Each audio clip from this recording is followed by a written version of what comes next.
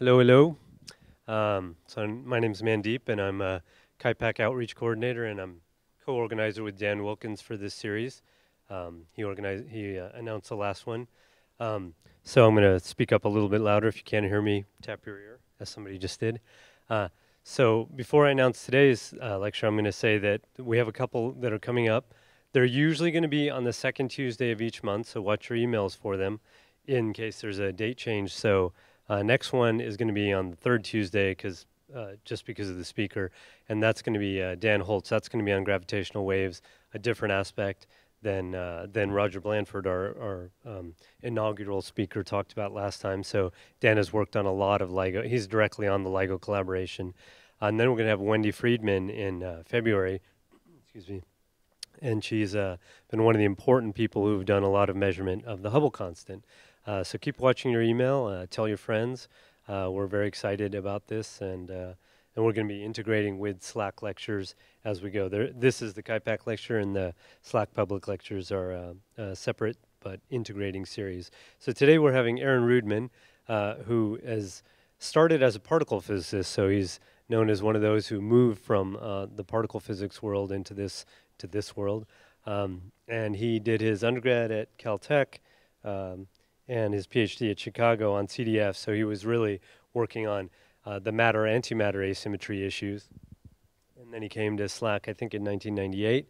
Um, and he's he decided at some point to stop uh, thinking just about the half of the universe of, of half the um, quote antimatter that wasn't there. So I was about to say half the matter. So the antimatter that wasn't there, and started thinking about the 80% of the stuff that, that we can't see, the dark matter. And that's what he continues now. He's uh, been really integral on dark energy survey.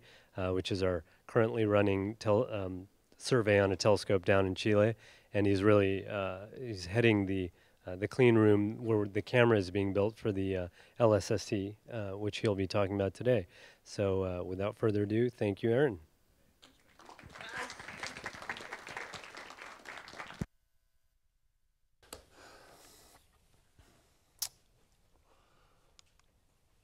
So in the 1920s, Edwin Hubble discovered that the universe was expanding. This is Hubble at the uh, Hooker 100-inch telescope uh, in the hills above Los Angeles. It took Alexander Friedmann uh, to understand uh, why that expansion was occurring and to put it into context. Friedmann used Einstein's new equations explaining gravity, general relativity, and found that the density of the universe would determine how the universe expanded, and actually what the fate of the universe was.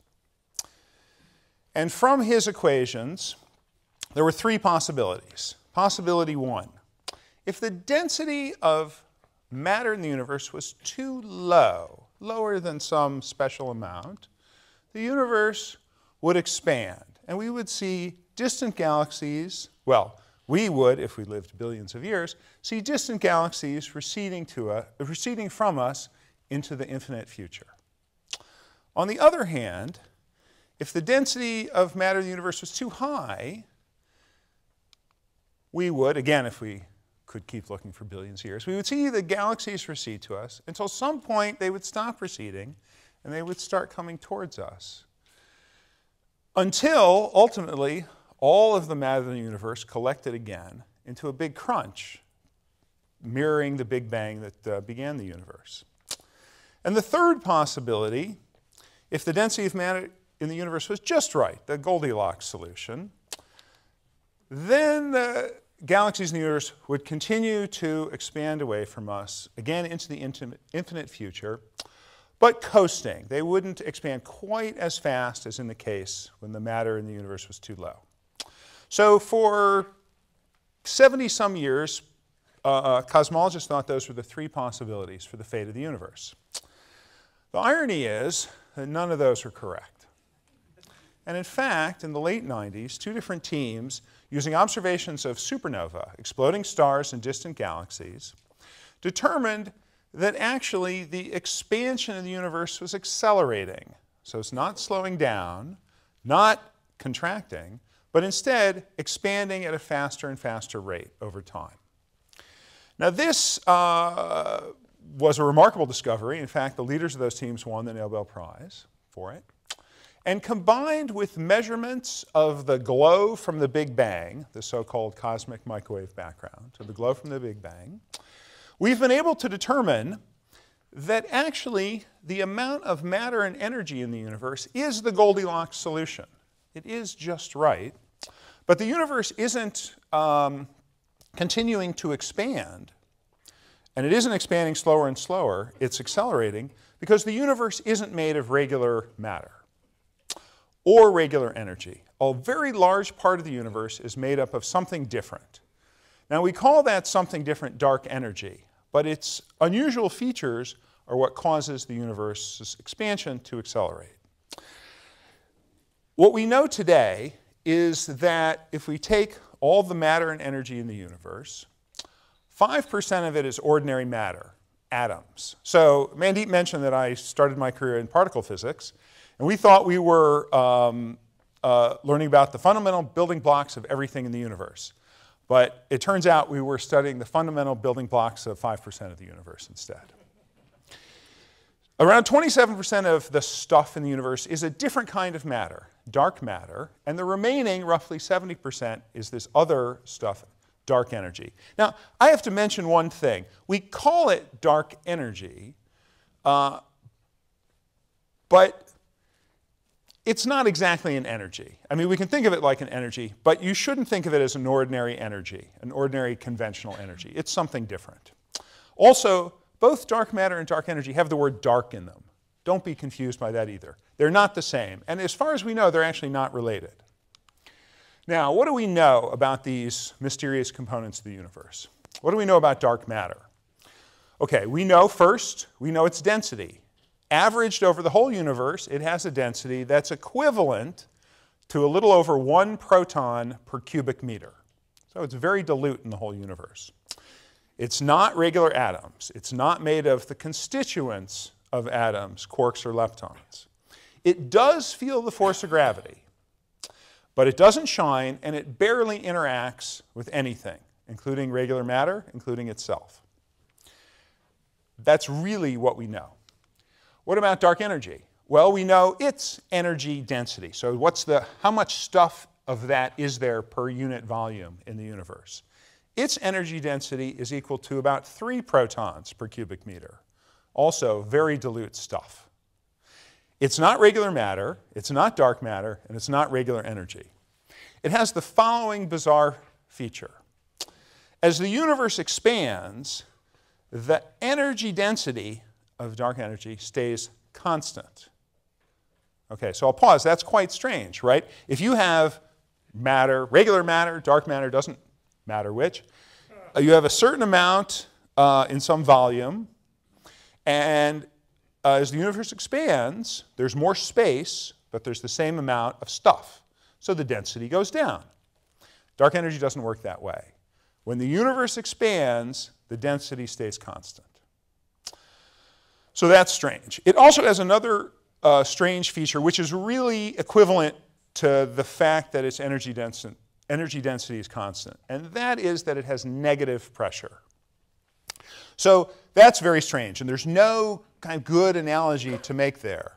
Right? If you have a balloon filled with gas, the balloon is putting pressure on the on the um, on the, the the gas is putting pressure on the balloon, keeping it inflated. If it had negative pressure, that'd be like it, the gas sucking in the balloon and contracting it. So basically, no regular matter acts, no regular matter, no regular energy acts that way. So it's strange stuff. Now, what can we measure about dark energy? So you'll see that the new telescope I'm going to talk to you, tell you about, the Large Synoptic Survey Telescope, one of our uh, main goals is to learn more about dark energy. What can we learn? Well, we can learn how much dark energy is in the universe. We actually already know that. We can learn about the pressure. We can measure that pressure. And we can also measure that pressure today, and we can measure it in the distant past. And by measuring it today and in the distant past, that is one of the ways we'll learn more about dark energy. Now, I mentioned that the density of matter and energy in the universe determines the fate of the universe. So uh, I showed you a little, a little graphic to illustrate the just right, the Goldilocks solution, or the big crunch. The accelerated universe looks like this. So this might be a distance between distant galaxies. This is time in billions of years. Here's today. So into the future, the universe is expanding. But the density, but the, the, the pressure rather, uh, which we always call W for the ratio of pressure to energy density, if that were minus 1, we'll expand like this. But suppose that ratio were a little bit more negative than minus 1. Then what happens? Then the universe expands uh, even more rapidly to a point at which people have hypothesized that the universe would ultimately expand so fast that it would rip space time apart. I'm not sure what that means exactly, I have to tell you, but it doesn't sound good. And some people think that actually it, it, sounds so bad that maybe it really shouldn't be allowed. But this is something we can measure, this ratio. And it would be very interesting to know very accurately what that value is. And even more interesting to know whether it changes over billions of years, billions of years into the past. That's all we can measure. So we're going to try to do that. Now, uh, maybe I'll say one other thing about dark energy. There are different ideas about what it could be. One is that it's Einstein's cosmological constant. Einstein uh, put in a constant term in his equations for gravity, general relativity, and he put that in because he thought the universe was static, that it wasn't expanding. And as soon as he learned the universe was expanding, he pulled that term out, but it's back. And that extra term would explain the phenomenon we call dark energy in some sense. It would describe it. It could be a quantum field. It could be something like the Higgs field we know from particle physics that pervades the entire universe. Or it could be a modification of the laws of gravity, general relativity. But in any of those cases, there's one really weird thing. And that is if you do a very simple minded calculation of the energy density that you might expect, you get a value that is 10 to the 120 times larger than what we observe. Now, that might tell you that the calculation is wrong, but it's a very simple calculation. So it, it, it has to be wrong in an interesting way. And a lot of people think that it's wrong in that way because it tells us something new and different about the universe. So that's what we're after. Okay, but how can we learn more about dark energy? What are we going to do? One way that we can learn more about it is to study how matter is distributed in the universe. And the distribution of matter in the universe will be different depending on how the universe expands. But we have a problem. Most of the matter is dark. It's dark matter. We can't see it. All we can do is infer its existence because it has the force of gravity. So we have to work harder. We can't, we can't do simple observations. So let me, let me describe a little what how we'll use our observations to study the dark part of the universe. So let's look at this simulation of the universe. This is a simulation, uh, a computer simulation made by one of my colleagues here at Stanford, Risa Wechsler, and her colleagues. And it shows dark matter in the universe. And it shows the collections of dark matter over billions of years as the universe expands. But it, it shows it in such a way you don't see the expansion, you just see the interaction of matter. And what you can see, the universe starts off much more uniform, but over time, the effect of gravity pulls lumps of dark matter together. And in this case, this, uh, this collection here is very, would be the, the center of a cluster of galaxies. It would be the center of, uh, let's go back. It, it, maybe we'll watch it again. So that region in the center would be where a cluster of galaxies would form. A cluster of galaxies might have up to a thousand galaxies. So it's a region of the universe that's denser than any other, any other sort of typical place in the universe. Uh, and so this shows how that might form.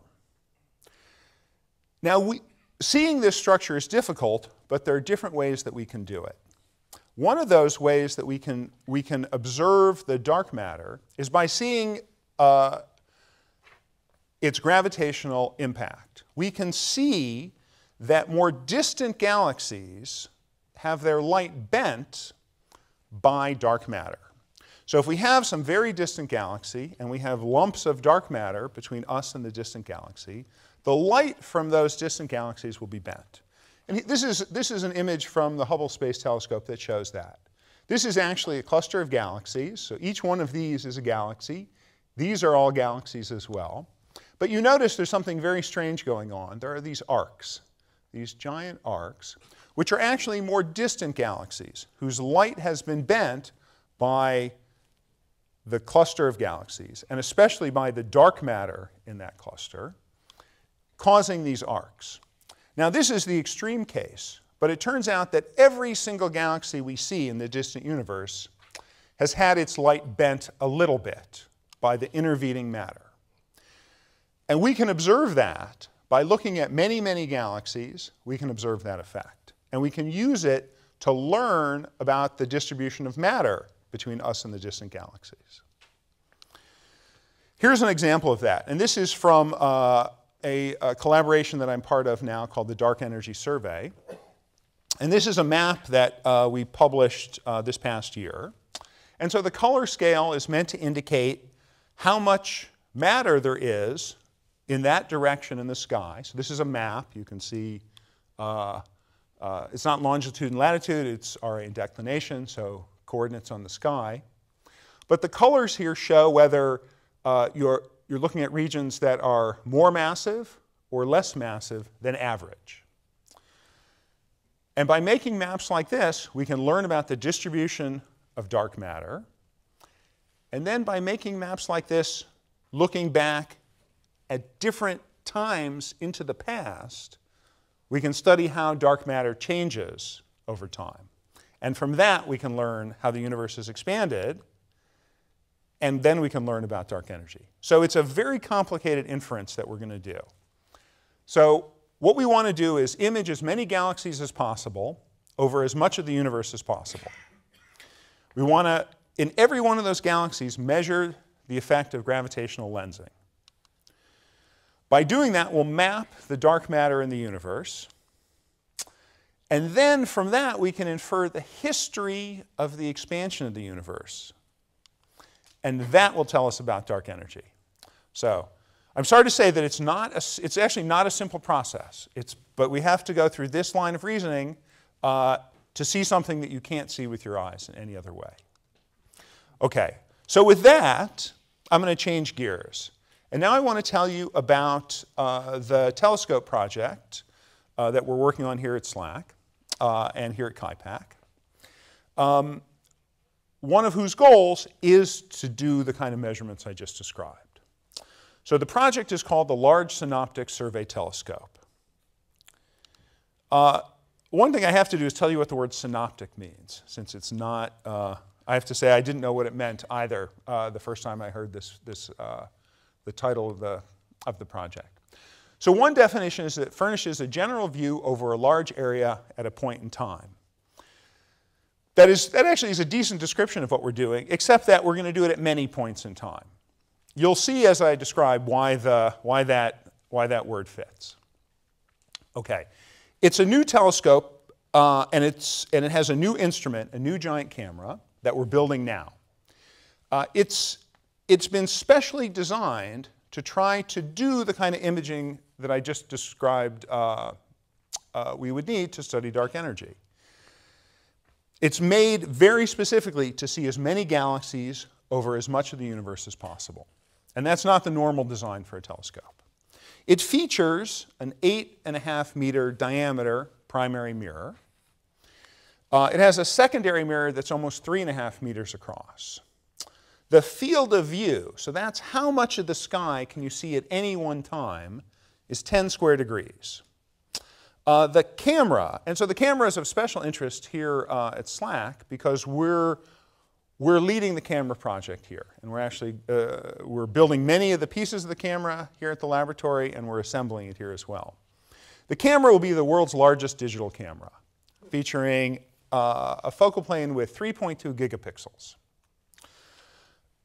those, that those pixels are um, spread over 189 CCDs. A CCD is a charge coupled device. It's similar uh, to the thing in your phone, but I have to say that the image sensor in your phone is tiny. It's, it's really small. Uh, if you buy a $5,000 camera, sort of a professional grade camera, you'll get an image sensor that's the size of 35 millimeter film. So some of you might remember 35 millimeter film, so you know how big that is. Our CCDs are four centimeters square. That's much bigger. And we have 189 of them. Uh, the lens that we use as the first lens of the camera is 1.6 meters across, so about this high. And we'll collect each image in just two seconds. So that's all, all, all of that is a challenge, and I'll say a little bit more, uh, I'll show a little bit more about how that looks. Now, I've been working on this project for about seven years, uh, some of my colleagues, uh, including Steve Kahn, who's, the, who's a colleague here at Stanford, is the, is the head of the project now. Some of my colleagues have been working on the project for 15 years.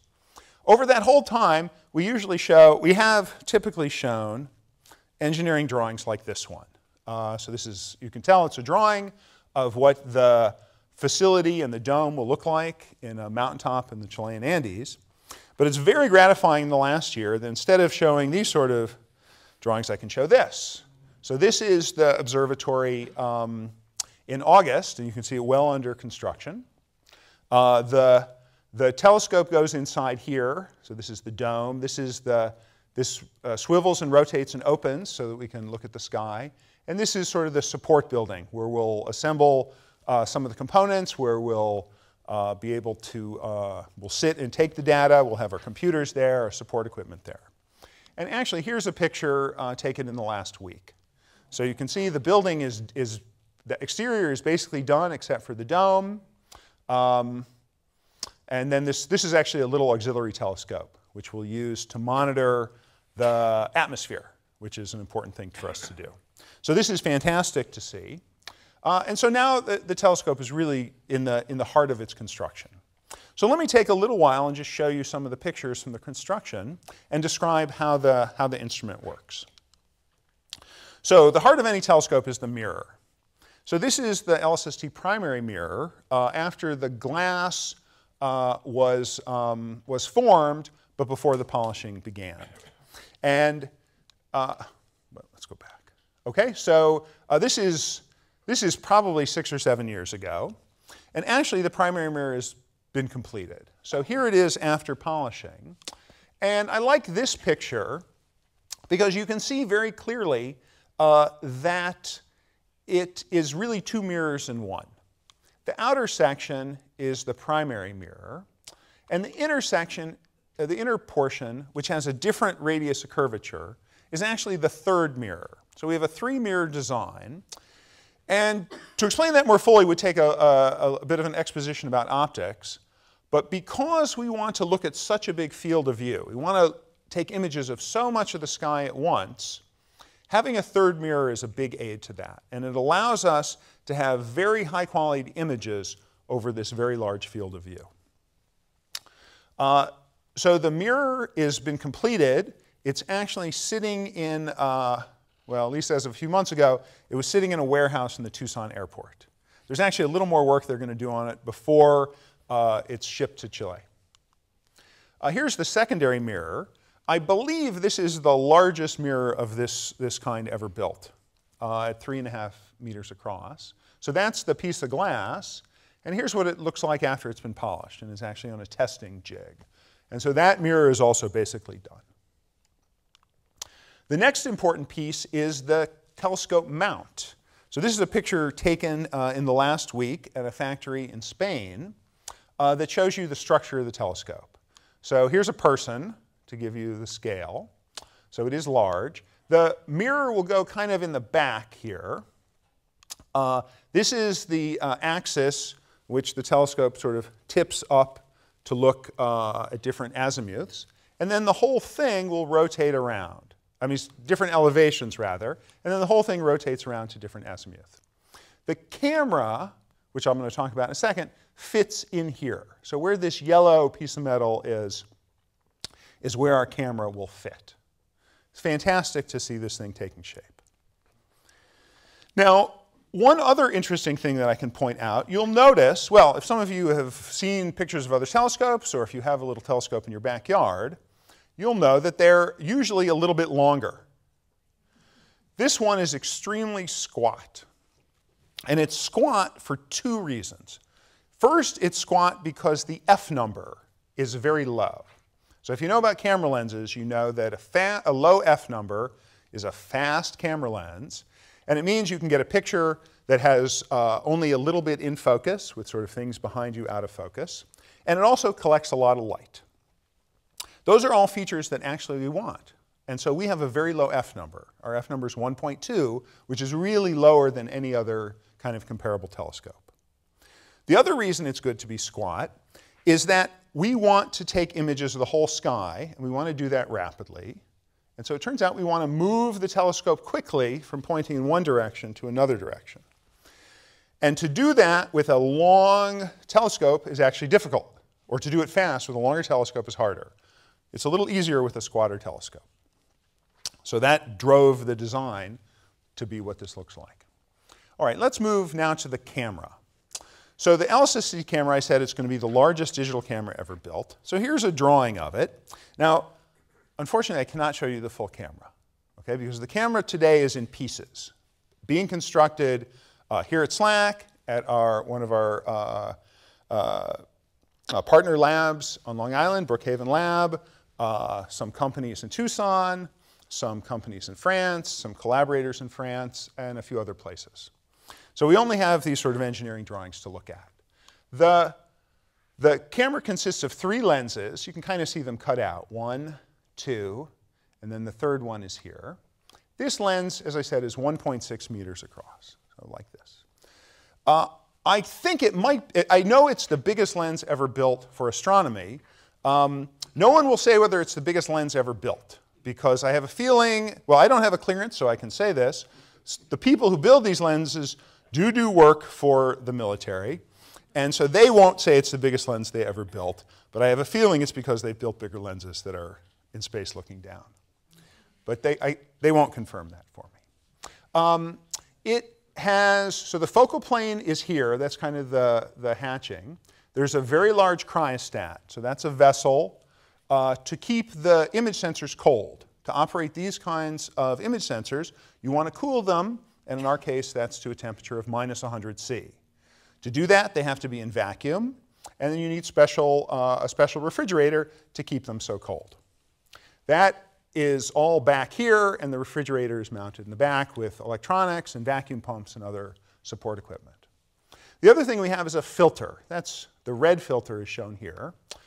And we use a filter because when we take images, we don't want to take them over the full wavelength of light that our sensors can see. We want to look at a, a more restricted um, uh, band of wavelengths. And we actually have six different filters. And that enables us to study features of the stars we'll see and to study uh, the galaxies more closely. And in particular, it lets us measure the galaxy's redshift, which is proportional to how, uh, how the galaxy is receding away from us. And it's all packed together into this actually very small package. So almost every, uh, every inch of space is used in here. And it actually it's going to be a major challenge just to assemble it. Uh, here's an exploded view. Maybe I'll skip that. Um, and uh, here are some of the components under construction. Uh, so here's the first lens uh, being polished.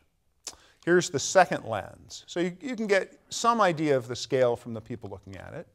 Uh, the second lens has, the polishing has been completed and uh, it will, the next step is actually to have it coated. The lenses have a special coating, uh, an anti-reflective coating. So if you pay a little more, you can have your eyeglasses coated with something to prevent glare. We have something very similar here because we also don't want to lose light uh, reflecting off the surface.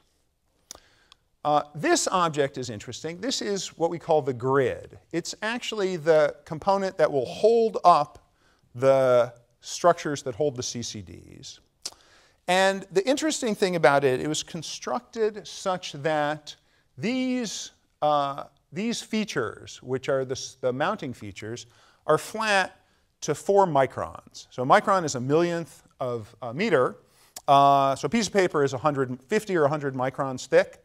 And so this is flat to four microns. And we want it to be so flat uh, because of the optical system that we're using. So I mentioned this F number, that the uh, system was a very fast system. And what that means is that only uh, uh, that, the, that the position that's in focus is very narrow. And so you want to have your image sensors in a very narrow spot to keep them in focus. And if they deviate, if some of the sensors are above that spot or below that spot, then those sensors will be out of focus, which of course we don't want. So we have to build it actually to very tight tolerances. And that, uh, that kind of tolerance we keep in many pieces of the camera design so that we can stay in focus. And then the last thing to show uh, here is the, um, is the filters. And so uh, this is at a laboratory in France. This is a prototype of the filter exchanger. And it turns out that uh, that is tricky too. And you can kind of see it here because the filters are large. The filters are about this big. Uh, and it turns out there's no good place to store them. So they're actually stored kind of on the side. Well, not this far on the side, but kind of on the side of where the focal plane is.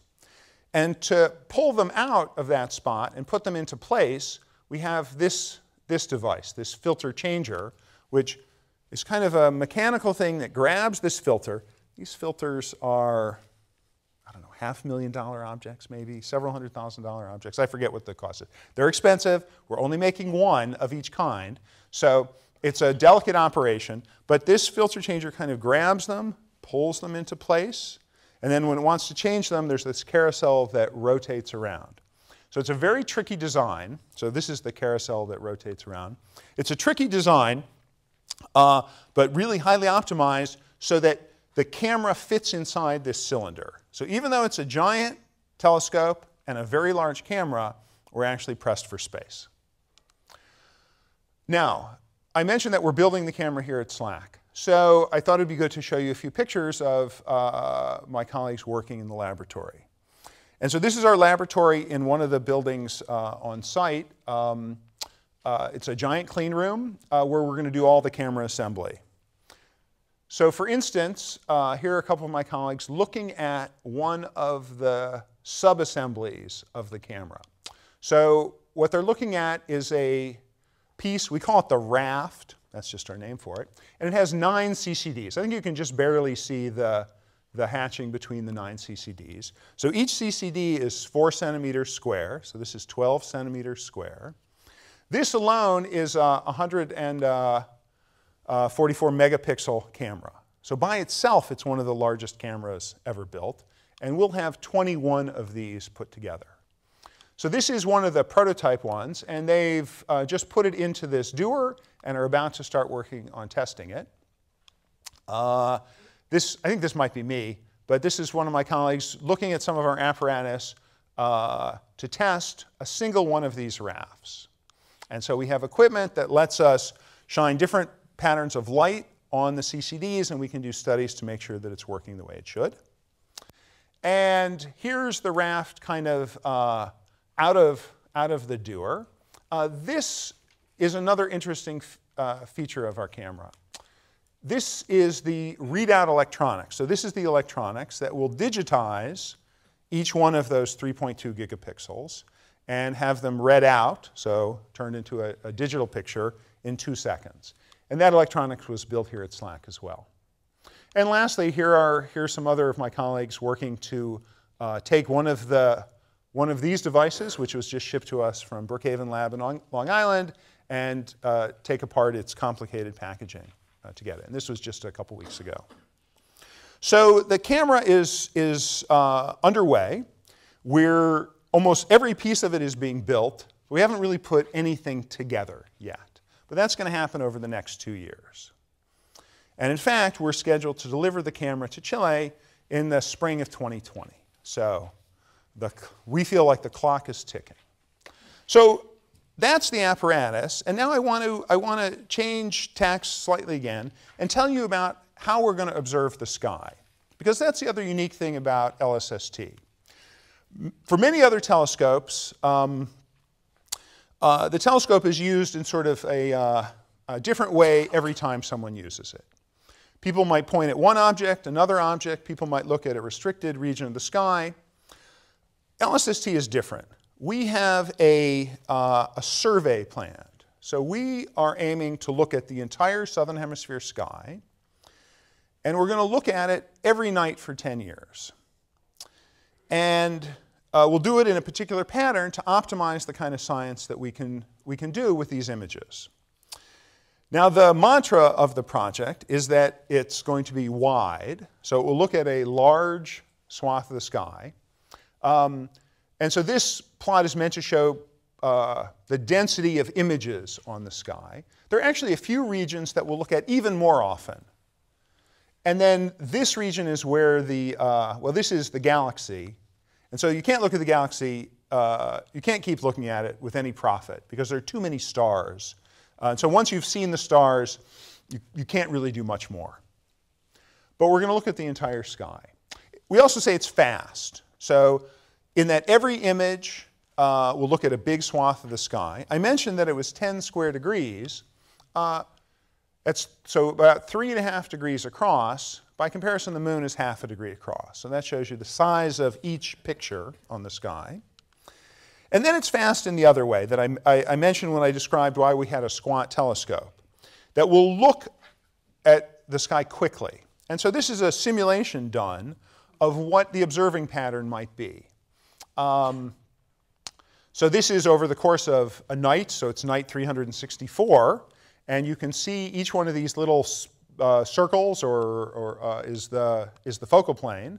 Oh, now it's the next night, night 365. And you can see it's tiling the sky.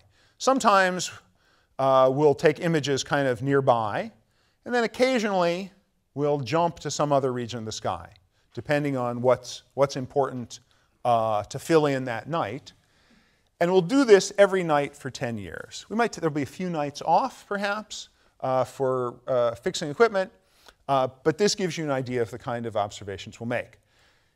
Every observation will be 30 seconds long. We'll take two 15 second images back to back. And of course, that's so fast, there's no way that a person could do it. So the decision about where to point the telescope will be made by computer. And last, we say that the survey is going to be deep. That's astronomy jargon. That means we're going to look at the dimmest objects, the most distant objects, uh, or medium, or, or objects that aren't quite as far away but are extremely dim. This is a simulated image, so this is not a real image, but it's meant to be representative of the kind of images that we'll get with LSST. So given the speed of the telescope and the speed of the camera, we think we can see every part of the available sky in three or four nights. That corresponds to about 15 terabytes of data every night. Uh, today, maybe 15 terabytes a night doesn't seem like so much. I can tell you when I first heard about this project about 15 years ago, that number seemed terrifying. Uh, today it's not as big. Um, but you'll see in a second, actually, some of the computational challenges are extreme. So we'll take images every night, and at the end of 10 years, our data sample will be something like 50 or 100 petabytes. Every spot of the sky we should see about a thousand times. Now, with that data, we, we estimate we will observe 20 billion galaxies. That's a significant fraction of the total number of galaxies in the visible universe. We think we'll see 17 billion stars in the Milky Way. Uh, the estimate is we'll see 6 million objects in the solar system. Everything from, well, if Planet 9 exists, I think we have a very good chance of seeing it. And we'll see 90% uh, uh, of all the killer asteroids, we estimate, and everything in between. Every night we will get uh, maybe up to 10 million, somewhere between 1 and 10 million alerts. I'll tell you in a little bit what an alert is. And the database, we think, will have 50 trillion objects. So an object is an observation of a star or a galaxy or an asteroid. Now, actually, uh, that's the piece that's really computationally difficult. Because we will, have, we will have a database with 50 trillion rows.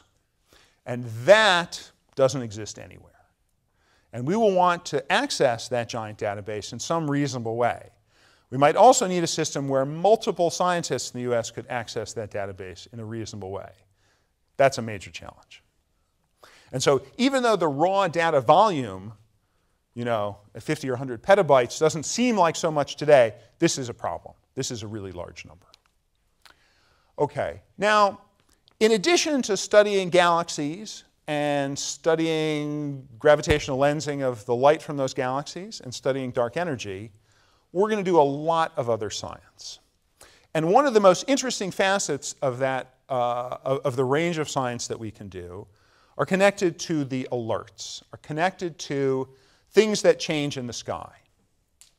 Because we're observing the same part of the sky so many times, we're ideally suited to look for anything that changes. And so we have, we'll have a system that will automatically flag any of those changes. The way it works is, well, there's some complication, but basically we'll have, a, we'll have a repository of images of the sky, and every time we take a new image, we'll compare it to the reference image. And if any object has changed in position or has changed in its brightness, uh, or you know, gotten brighter or dimmer, or uh, whether a new object appears, that will be flagged. And we call that an alert. We expect between 1 and 10 million of those every night. In addition, they'll be detected within about a minute of the observations being taken.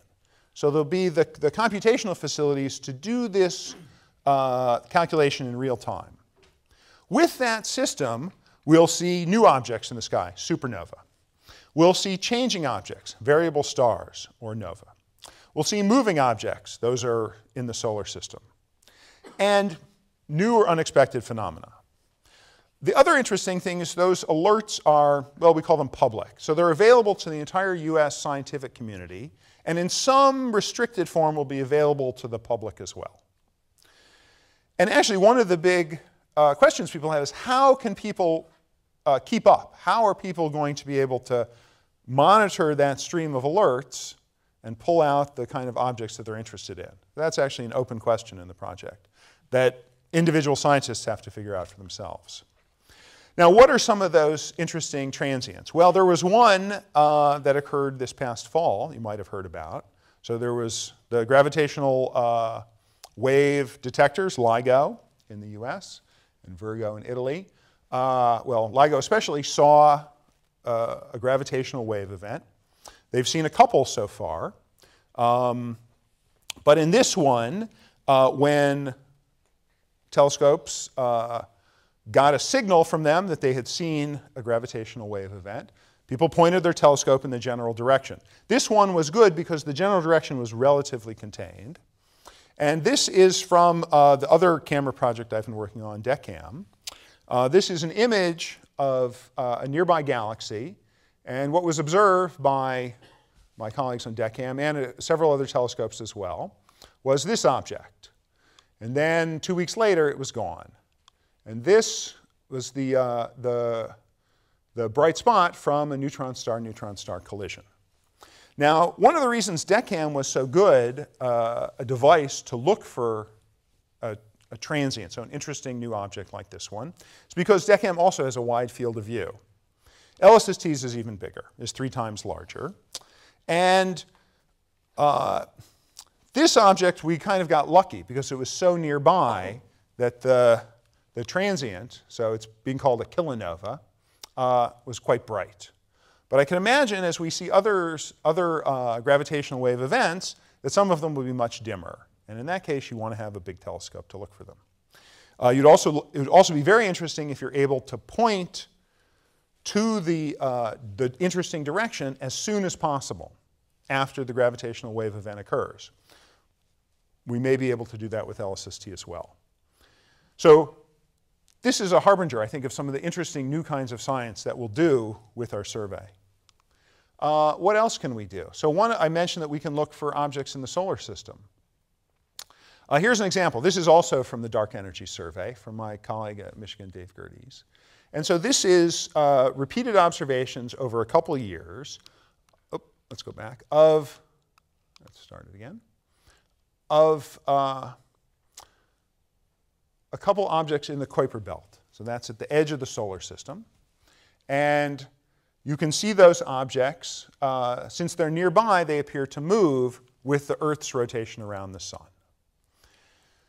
So we'll look for Planet 9 in roughly a similar way. Uh, we'll look for uh, lots of solar system objects this way.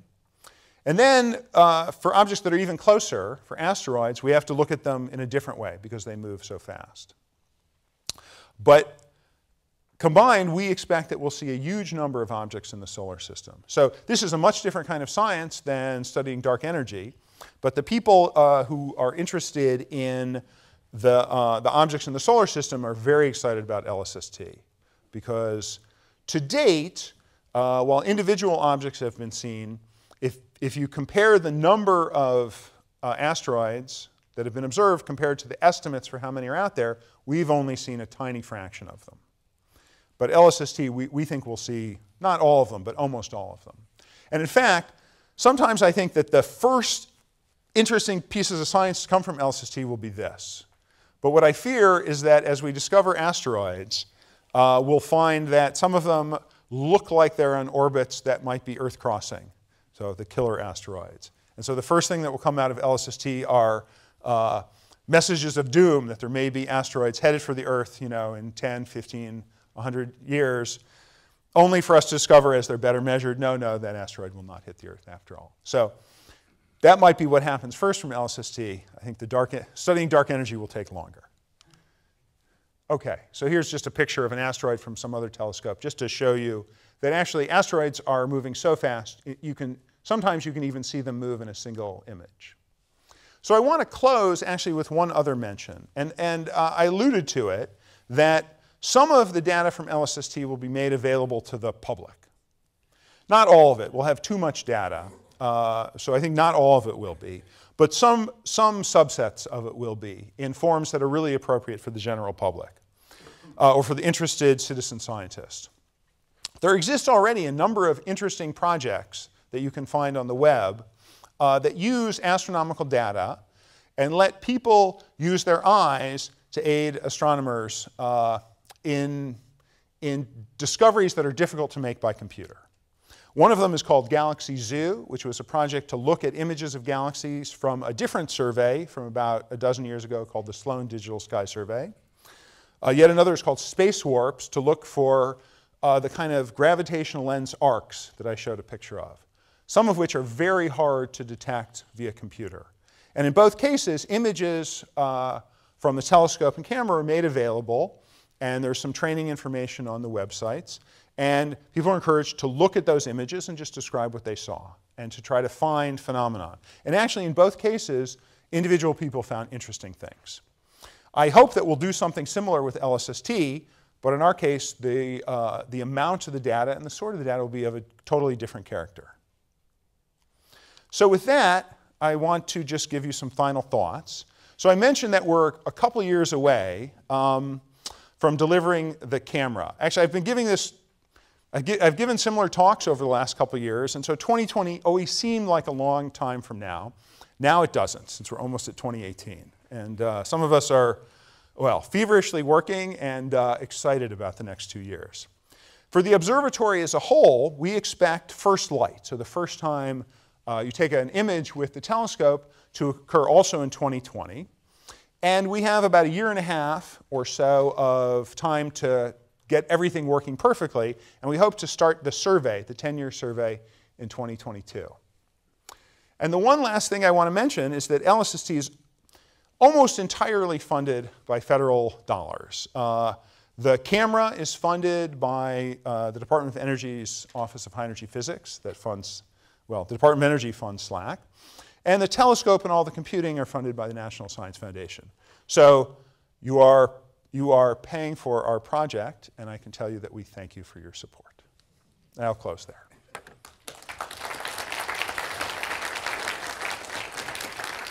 So uh, we have some time for questions. So uh, go ahead and raise your hands. And the mics are actually on the table. And so uh, when I call on you, just press the button on your mic, and uh, we'll go. So go ahead.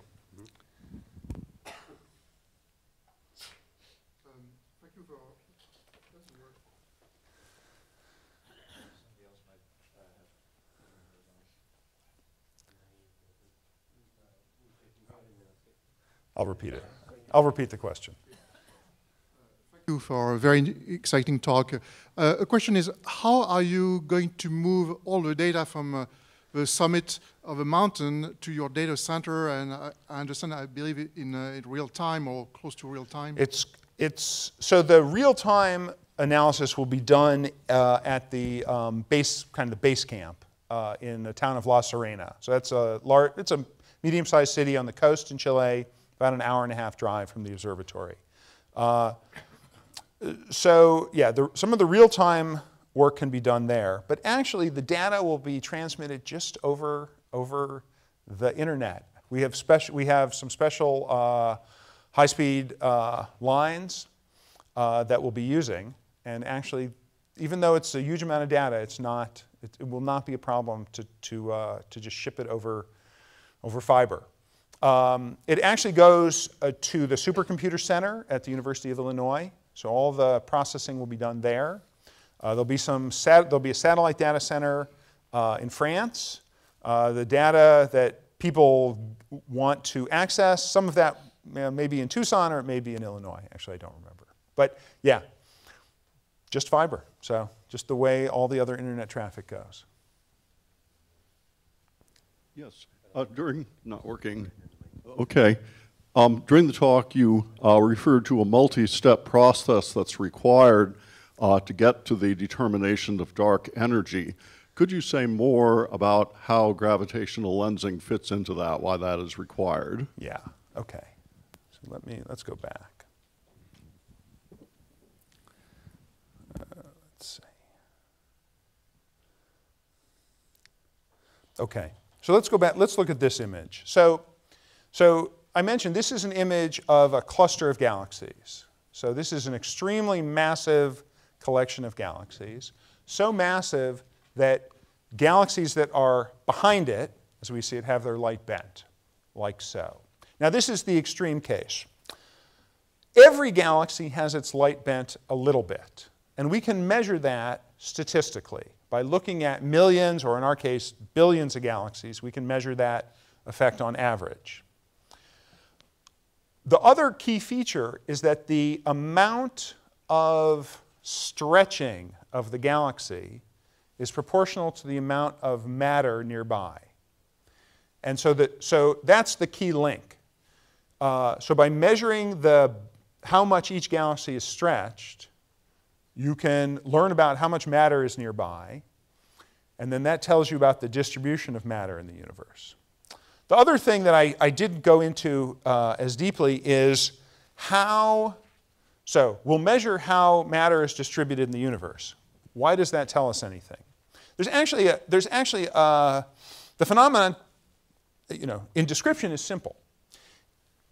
When the universe begins, there are different regions of the universe that have a little bit more matter than their neighbors.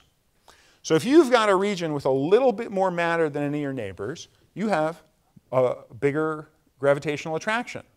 And so you'll attract nearby matter to you. Then that region of the universe has even more matter than its neighbors and will attract yet more matter to them.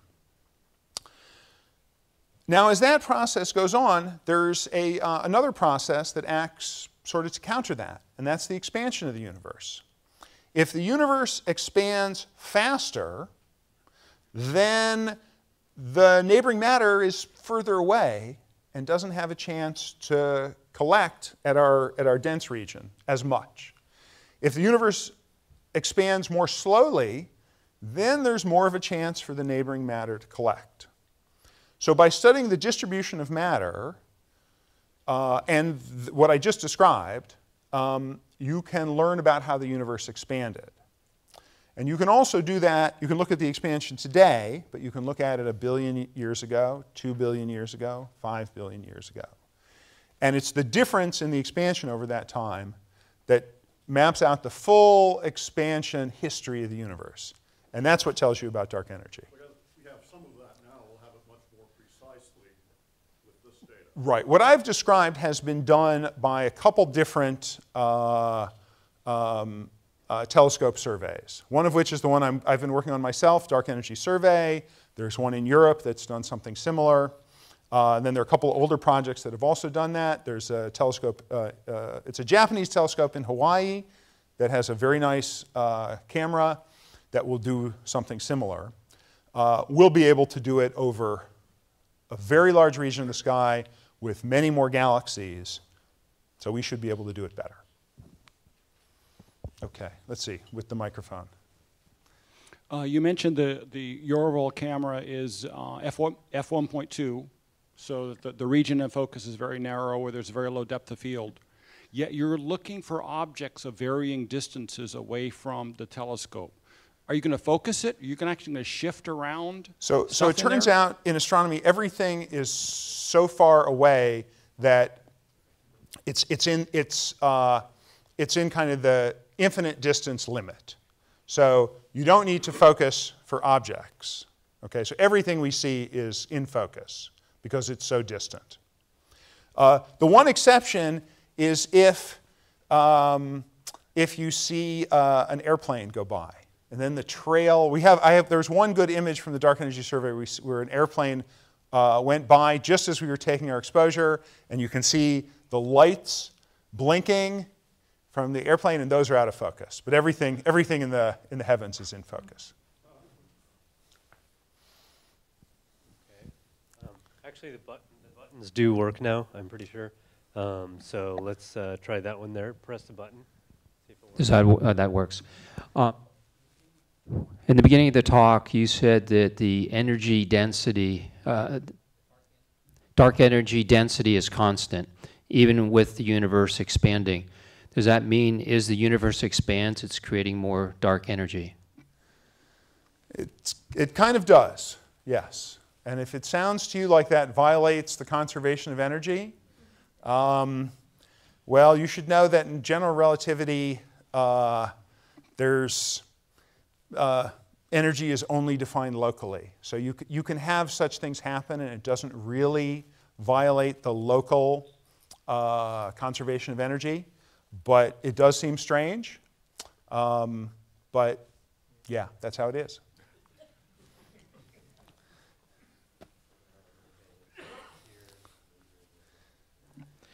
So I know you described some of the uh, properties of dark energy, right? Like negative pressure and so on. But what's the what what do we expect out of this? Like what do we think it is? What's the best guess? And I know it's a big unknown, right? But what's what are some of Well, the best no, I- guesses? so the three things I mentioned are the, you know, that's sort of the, the way you could, um, the way you could summarize the different ideas. So the top one, the cosmological constant, that is definitely people's favorite view. Some of my colleagues uh, are convinced that's correct. And it is true that all of the data that we have to date is consistent with that. Um, the other two possibilities are actually more and more constrained, but uh, our measurements are still, you know, we can improve our measurements an enormous amount with the kind of data we'll get at LSST, and actually, I should say from some other uh, uh, cosmology projects as well. So both of these are possible, and actually, so uh, maybe I'll say a bit more about the quantum field. So the, uh, so dark energy, um, if it were a quantum field, has certain properties that are very, very similar to the Higgs field. So if people, maybe people, I should not assume that people know what the Higgs field is. So the Higgs field is the thing that gives the electron mass in the theories of particle physics. The Higgs field is uh, uh, uh, produces, or part of the Higgs field phenomenon is the Higgs boson. And the Higgs boson was discovered uh, at the Accelerator Lab in Europe, CERN, uh, maybe it's five years ago now. Um, a couple people won the Nobel Prize for that. The Higgs field and, the, and dark energy, if it were a field, actually have very, very similar structure. Now, there's another, there's a third quantum field that we think exists that would pervade the whole universe, and that is the thing that causes inflation. So, so this is not the, this, well, sometimes physicists use uh, words that are used in common lingo. Obviously, inflation here is not the fact that you know, things are going to cost more tomorrow. inflation, if you haven't heard about it, is the idea that in the very, very first instant of the universe, the whole universe expanded in an accelerating way a spectacular amount. Then, after this first instant, that stopped and the universe expanded kind of in the normal way that I described. Now, the evidence for inflation is not uh, conclusive, but some of the observations we have are very consistent with this period of inflation in the first instant. Instant here means like 10 to the minus 35 or 10 to the minus 33 seconds. So really an instant. Now, that period of the universe, the, the, the expansion of the universe then had to be due to something very similar to dark energy, except that the density was much higher then than the dark energy today. So the quantum field, I think, is an interesting possibility because there are two other things we observe that kind of smell the same. But that's not evidence, that's just suggestive. Modification of general relativity, I can tell you most people don't like that because general relativity is so beautiful, it, why should it be modified? But you know, it's poss- that's, it is possible, and some of the measurements we'll make will be designed not to study dark energy, but to study general relativity. And we could, it's possible we could see evidence for deviation, for, for general relativity not being right. But these are, these are kind of the best three possibilities.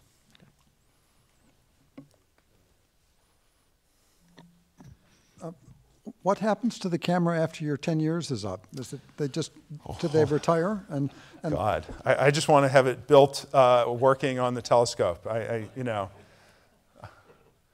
Um, yeah, what happens in 2032, I'm not sure. So I, I, actually don't know the answer to that. We have, um, so we've, we've planned for this 10-year survey. It is possible after 10 years that, I, I think it's likely that the instrument and the telescope would be used in a slightly different way. I suspect that the camera could be used um, in a different way than just continuing the survey. I think it's unlikely that we would just continue taking data in the same way we've taken it the first 10 years. I think that's unlikely to be interesting by itself, uh, but it's possible we could make some improvements to the camera, we could make improvements to the telescope, and we could and continue to take images of a somewhat different flavor. But actually, I don't know.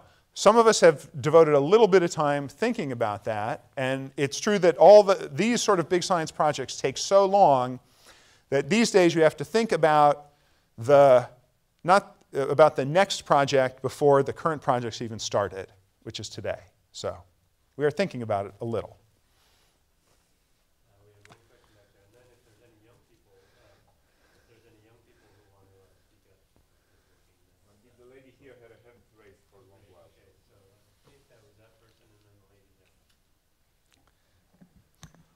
Uh, so are you uh, are you working with any other experiments to to combine data and uh, and collect uh, um, to collaborate? Uh, so the question is, are we working to combine data? Yeah, I think we will. So certainly the the example of the gravitational wave detectors is one way.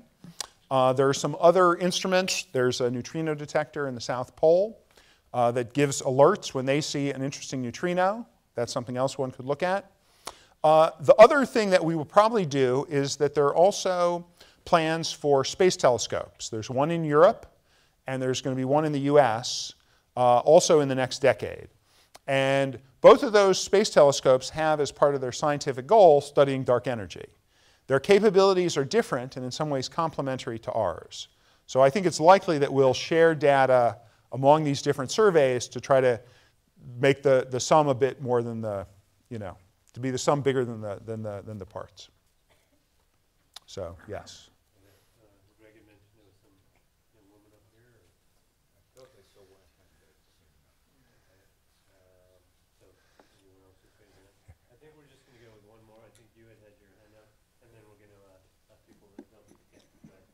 Thank you again for a very interesting talk. Actually, I have two very short questions. In the history of astronomy, uh, Halley's Comet played a, a major role. Uh, and when Gauss was able to predict uh, its re reappearance in the sky, will you be able to image Halley's Comet? And the second question, while know. you're The thinking answer is about I that- don't know. Don't know. Okay. the it, the second question: Is there any thought of exploring whether some of the presumed constants of nature, like the speed of light, Newton's gravitational constant, Einstein's cosmological constant, whether they actually vary in time? So yeah, so the first question, Halley's Comet, I, I, I don't know, but probably not, since I think it's so far away from the sun that it's too dim. Um, and then uh, variation of the fundamental constants. Uh, I have not, I've not heard of anyone think about using this data for that. People have studied that in different ways. Uh, so far, no one has seen anything suggestive of that. Uh, one thing I will say, because the data will be available to the, the whole US scientific community, actually some significant fractions of the scientific community in other countries, uh, I have a feeling people will, will come up with lots of clever things to, to do with it. I don't know if it'll be that, but I'm sure it will be things that are unexpected.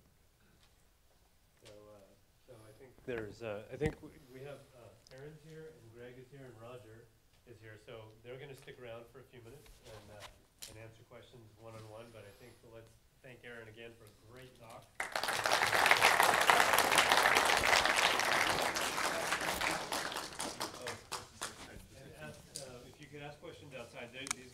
about that.